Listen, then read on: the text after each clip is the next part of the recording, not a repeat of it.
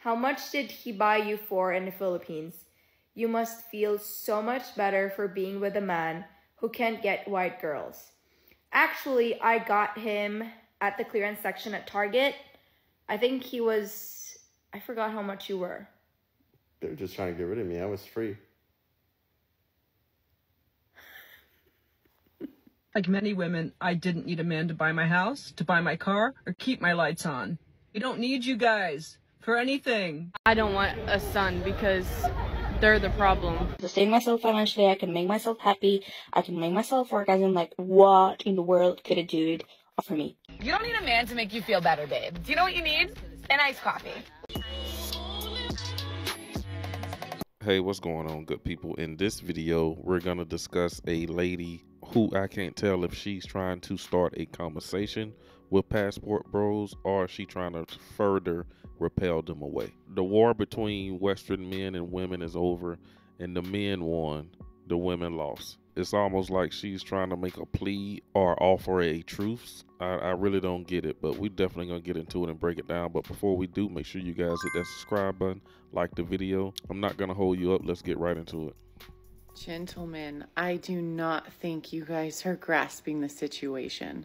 In all these comments, I'm hearing how you are not going to tell your sons to marry, how you are happier being single, how you would rather be a passport brother and go to a different country to find a wife. No, Miss Lady, don't try to put that all on men. There are women out there who have went on record and said that they will encourage their sons not to date American women as well. So it's not just the men saying it. Women are saying this too uh, regarding their sons.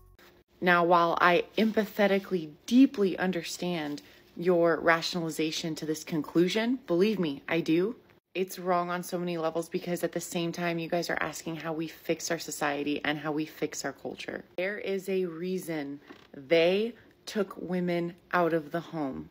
It should show you the importance of having a woman there, just like the importance of having a father in the home.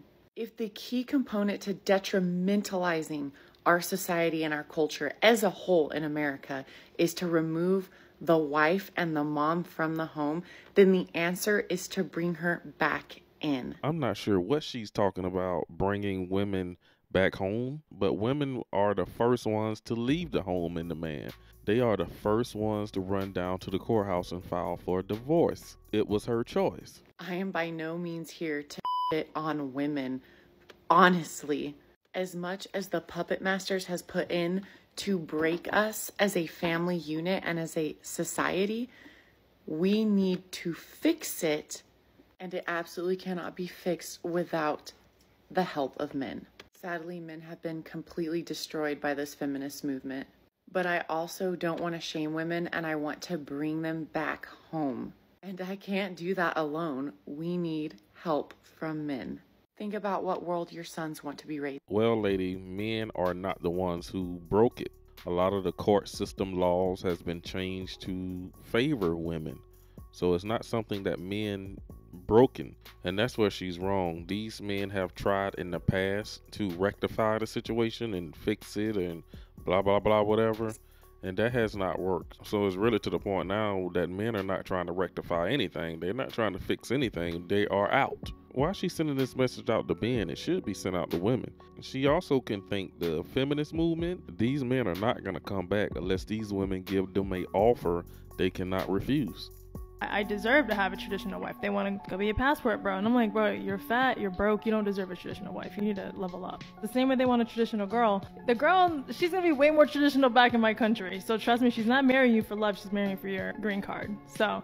Are you against passport bros or? I understand the fundamentals of it for those who have done everything in life to make sure they are a man. But if you're not a man, I don't think you deserve that, honestly. If you don't have your life together, what makes you think you know how to appreciate a tr- like traditional wife? Uh, if some other guy who's living here who's never had an idea of what a male figure is in his life, he's going based off of whatever little content he picks from the internet. He's well, I want a traditional wife, but therefore he doesn't even have like a credit score. He doesn't even have like his, his life in check. He's still driving the hoopty from high school. But you want a traditional girl. Like what happens when you bring that girl over here? You're gonna basically make her a Western woman and she's gonna realize like this guy really doesn't have his shit together. Now she's gonna cheat on you. But this is not something that men can fix. You guys wanted to run the United States of America. Go ahead and run it. Some men will not choose to live there anymore and partake, let's say. Or maybe you can rally women together to start a political movement to get the state courts out of marriages. But most black women are overweight or obese. Well, you know why? Because you can't afford a gym membership for them. And they would rather eat than be with a broke man. They would rather sit down and prepare a meal for their kids and their family and eat and get fat because y'all aren't worth being skinny for. What we gonna be looking good and snatched for to go get some coffee? Oh, I got to go to the gym. I might get invited out to some coffee tomorrow. Let me go get my let me go get my brows waxed so I can get this coffee. Ooh, girl, I gotta go. I can't. Uh, I'm fasting, girl. I gotta. I'm. I'm going to Applebee's tomorrow.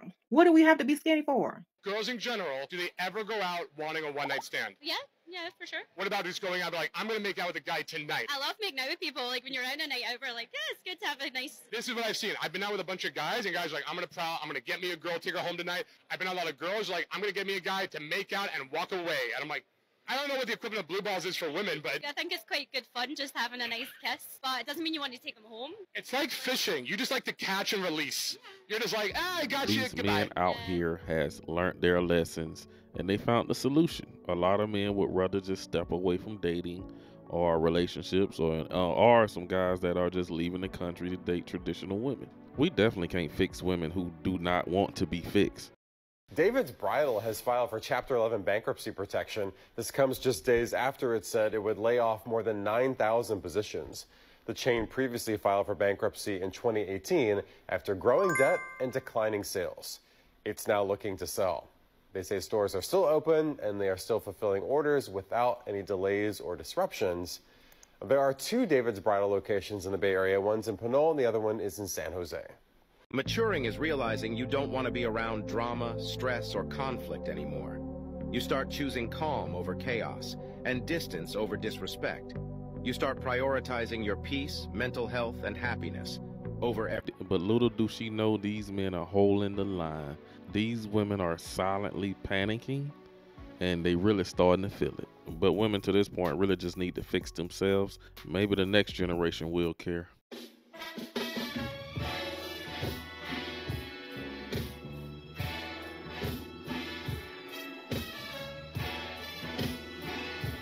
Passport movement, I would say, has finally got a little quieter, and a lot of guys are moving in silence.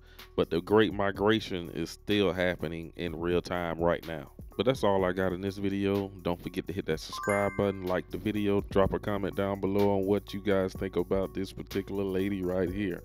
And also, don't forget to follow me on Datingwright Clips and Ronin Passport. Thanks for watching to the end. I'll see you in the next video.